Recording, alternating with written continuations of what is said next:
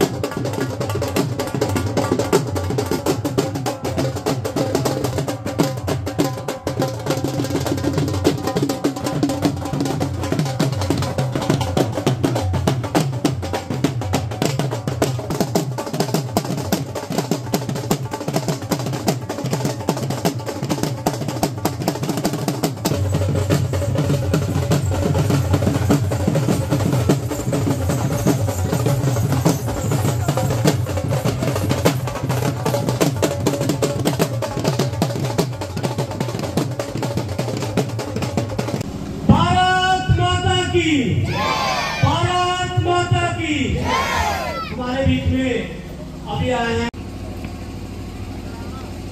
भारत माता की, भारत माता की। बाबा कैलक देव महाराज की, बाबा कैलक देव महाराज की। भारत माता की, भारत माता की। उसके बाद यहाँ के कुलदीप सिंह जी का भी पगड़ी पहनाकर स्वागत किया जाए। जोरदार तालियों से बा-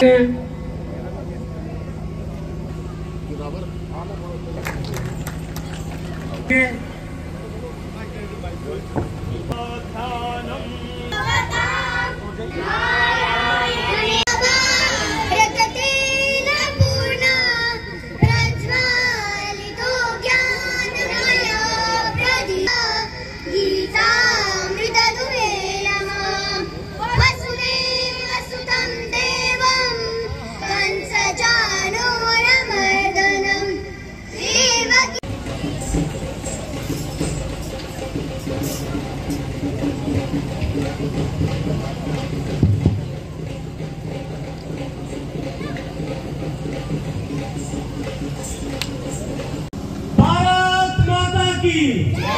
भारत माता की। हमारे बीच में अभी आए हैं। ने आखिरी शासक। महाराजा बहादुर हरि सिंह जी का ਰਾਜਾ ਅਮਰ ਸਿੰਘ ਜੀ ਦੇ ਘਰ ਜਨਮ ਹੋਆ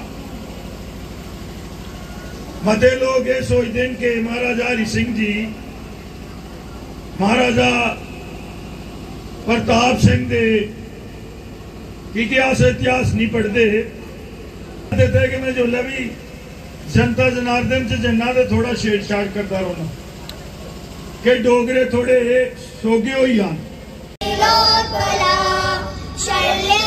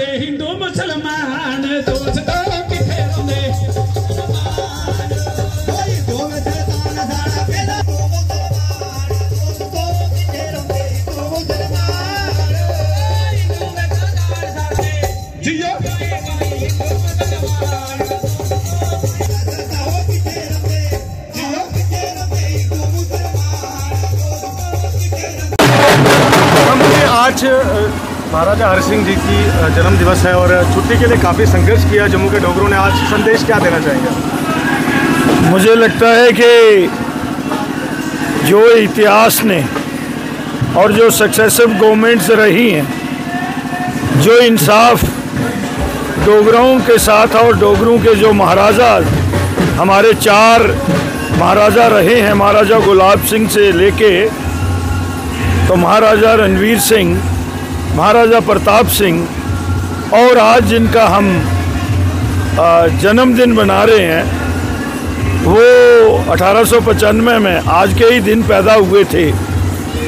तो वो लास्ट रूलर रहे हैं। तो इतिहास ने भी डोगरों के साथ इंसाफ नहीं किया और सरकारों ने भी डोगरों के साथ इंसाफ नहीं किया।